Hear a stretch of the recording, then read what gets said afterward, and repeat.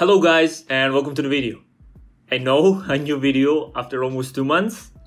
I've been really busy in the last two months so I haven't got any time to record a new video for you so I finally got a little bit of time so I said to myself let's record a video for you. so yeah, let's begin with the video.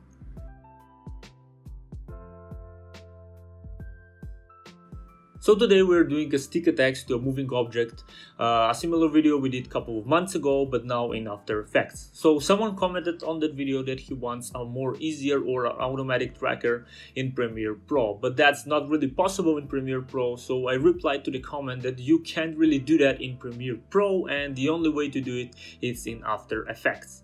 So today I decided to make a video uh, to show you how to do that in After Effects.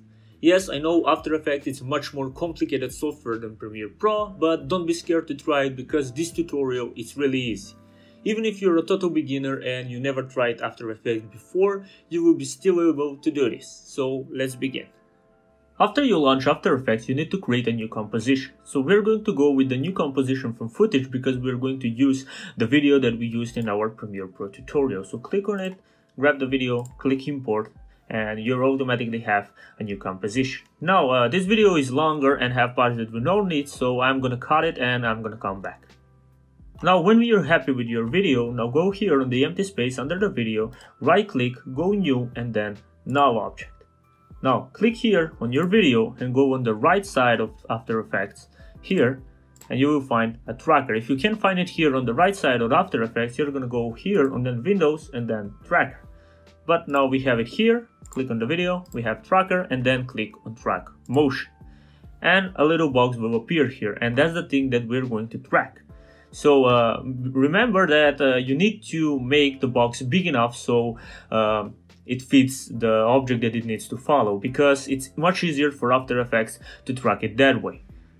So make it a little bit bigger, hold shift for a proportional and place it over your hand.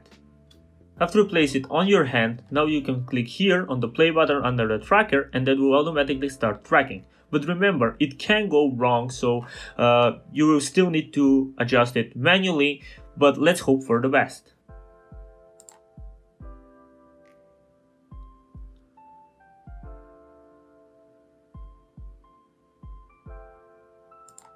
If it starts good and then just can't follow the hand, just click here on the stop button, readjust it a little bit and then continue. You can see here it lost the track a little bit, so click on stop, readjust it and then continue.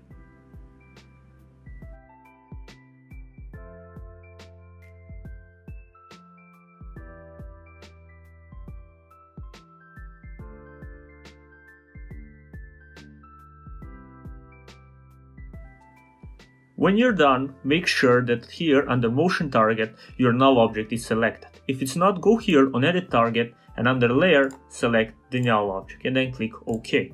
And now you can click apply and OK. And now the null object is attached to your hand. But there's nothing moving with the hand. So let's create a text. Go here on the empty space again, go new and then text type something, let's say tracker, make it a little bit bigger and place it above your hand. And now the last thing you need to do is to connect the text to the null object. To do that, grab this uh, swirly thing here, parent pick whip, and just connect it to the null object. And now you can see that the text is following the hand.